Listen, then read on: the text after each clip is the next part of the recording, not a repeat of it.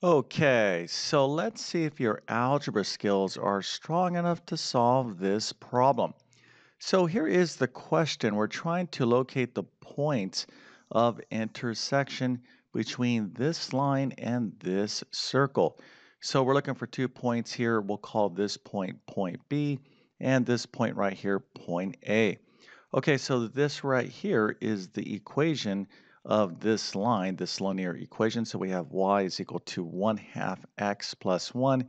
And then right here we have x squared plus y squared is equal to 8. This is the equation of this circle. All right, so once again, we're trying to locate the points of intersection uh, between the, the circle and the line. Now, if you think you can solve this, go ahead and put your answer into the comment section and feel free to use a calculator. All right, so let's go ahead and take a look at where the circle and the line intersect. Again, we're looking for points B and A.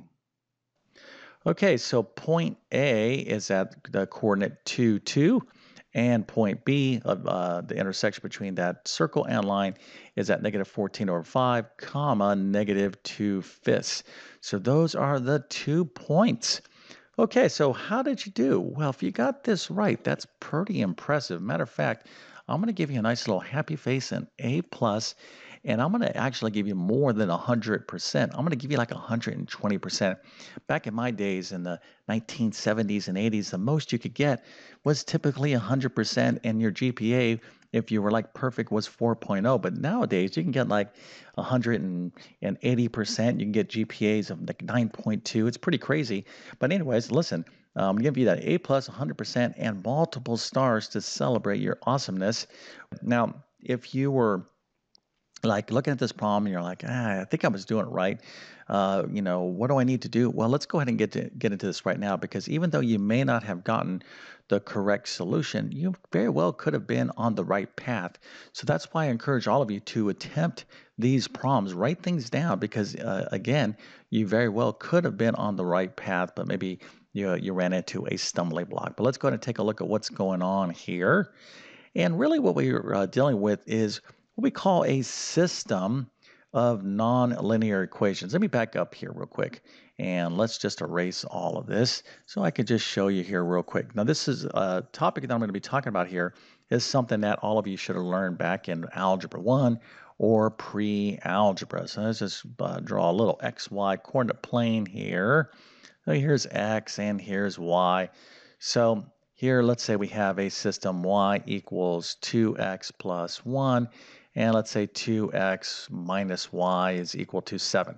Now, I'm not going to think about this too much and actually give you the um, uh, exact graphs to both of these, but this is a line and this is another line. Okay, so let's suppose I graph one line here and I graph another line right here. That's a terrible line. I could do better than that. Uh, let's use a different color, by the way. Let's, uh, uh, hold on one second. I'm trying to get it together. All right, let's see. There we go. I'm going to use blue. All right, so here is another line. So this would be, let's say line two. This would be line two, and this would be line one, line one. Okay, so again, we're talking about stuff that you learn as uh, even in pre-algebra, you got introduced to basic systems. All right, so the topic we're dealing with here is systems all right? But we're dealing with what we call two variable linear systems, okay? Two variable linear systems, and effectively what we're doing is, uh, conceptually, is that these systems represent lines. These are linear systems, so it's one line, another line, and if these two lines happen to cross, this point of intersection, this xy point here, would be the solution to the uh, to the system. Okay, now of course the lines don't have to cross, and the lines can be parallel where there is no solution. But anyways, hopefully you get the general idea. But what we're talking about here again is linear systems, i.e., systems that involve a line. But what about systems that involve a circle and a line? Okay, so instead of uh, two lines, right, let's just kind of uh, fix up our little system here. Okay, what if we had a circle and a line? Okay, well, that's our situation here. So we have a circle and then we have a line. So again, the points of intersection, if these um, two objects uh, do in fact uh, intersect because here's the thing I could have a circle like this and I can have my line over here where I have no points of intersection so they may, they may not be a solution to this system. But really the topic what I'm kind of getting at here is uh, systems of non-linear non-linear equations. Now even though we have a line we do have a circle okay? So what if I had a circle and I had like an exponential function, right? Let's say I kind of fix this thing up, something like this, right? Again, non-linear, you're still looking for points of intersection. So uh, the, um, the skills that you learn to solve linear systems like the substitution method and uh, linear combination method and graphing method, those type of basic techniques you can actually use to solve this problem. So, anyways, uh, hopefully uh, this kind of will set up, uh, you know, you know, how to solve this these type of problems. It's not just, you know, in math. It's like here, I'm going to show you how to solve this one problem. But if you don't understand the big picture, well, then you're not going to be able to apply this in a more general sense. Okay.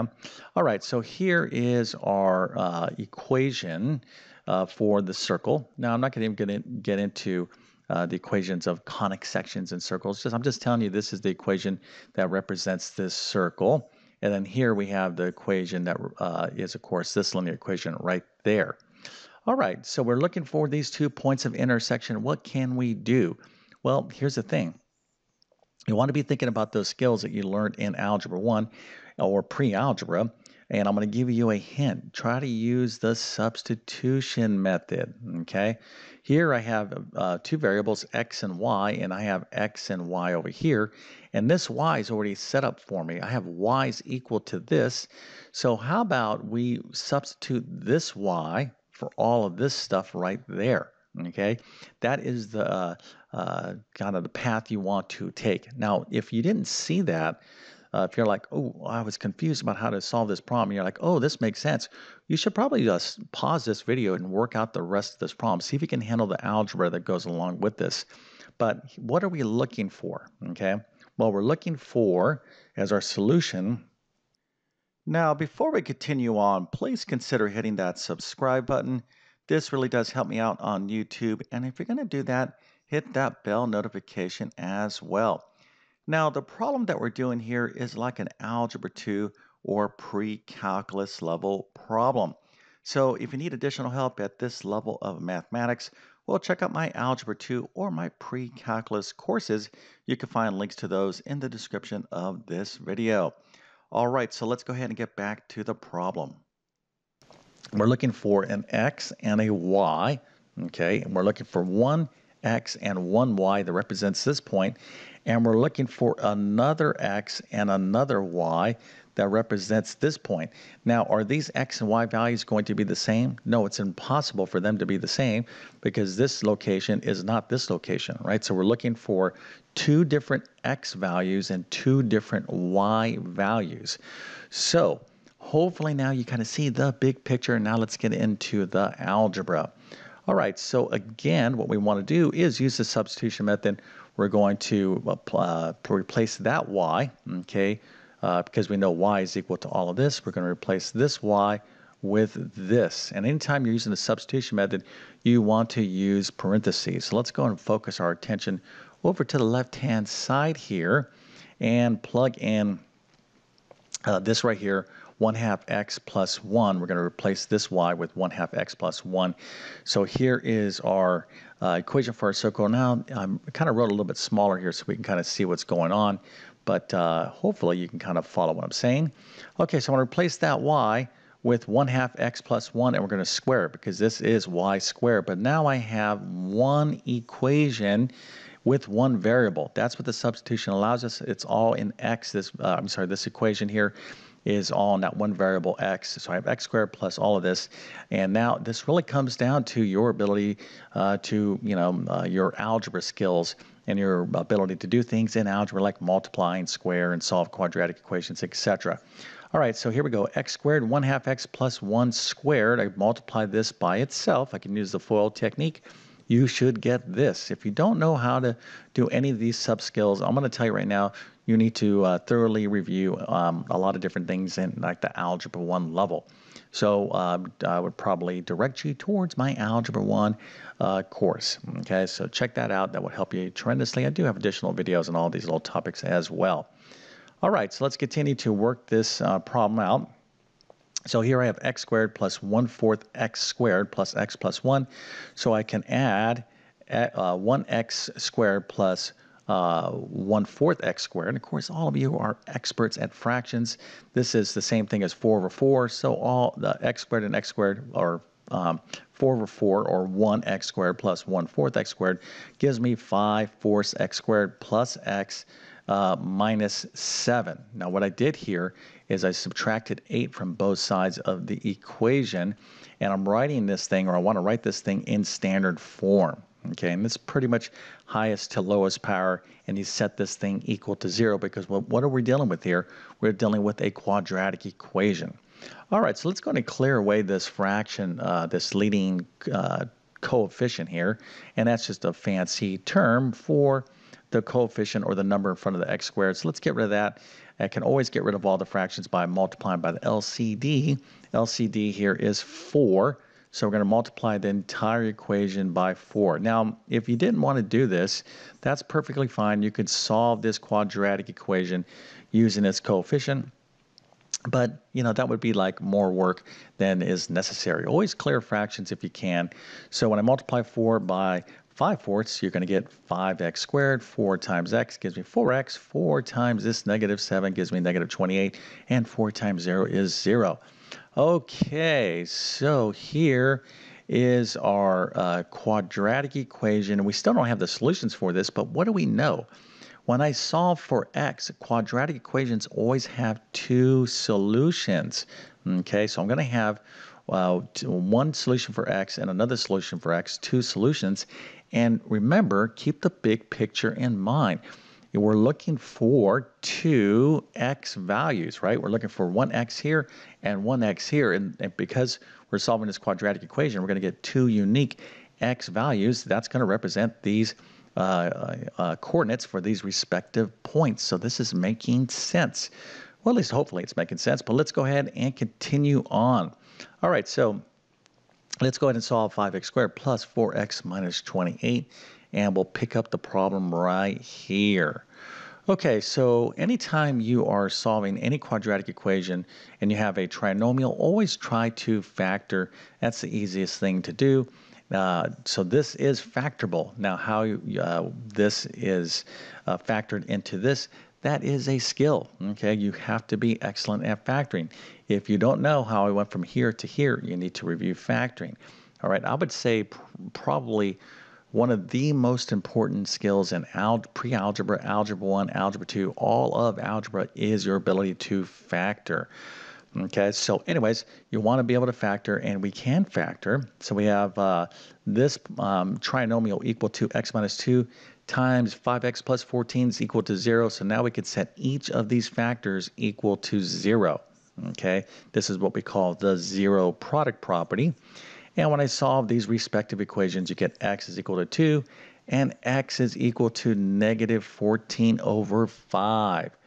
Okay, so what does that mean though? Well, uh, we just found the x coordinates for these respective points. We got point A and point B, and uh, point A, uh, its x uh, coordinate is going to be 2, okay? And point B, its x coordinate, its x coordinate is going to be negative 14 over 5. Now, how do we know that? Well, I'm calling, how do we know which one's A, which one's B? Well, just look here. We know that point A is in the first quadrant. Okay, so it's like 1, 2 over here. So this point, just visually speaking, uh, its x value is going to be negative, right? So this is negative and it's going to be negative. So we're going to have uh, this in the third quadrant and this point will be in the first quadrant, right? This is going to be negative and negative in terms of our x and y, and our point A here should be positive and positive. Okay, so we have our x's. Let's go get our y values now. So we'll pick up the problem right here. So how do we get y when we have solved for x? Well, we have two equations that involve both x and y. So I can either use this equation or this equation. Which one's easier to use? Well, obviously, this is the easier equation to work with. because we are solving for y, and this is super easy. If we're solving for y, we have x. We just simply just plug in our x values here, do this number crunching, and we will get y. And let's go ahead and do that right now for these respective points. Okay, but look here, we have to do it twice because we got to plug in x when x is 2 for uh, and to get a um, the y value for that point. And then once we're done doing that, we got to plug in this x value into the same equation to get y for that other point. Okay, so let's go ahead and do that now. And you can see I already did the work here.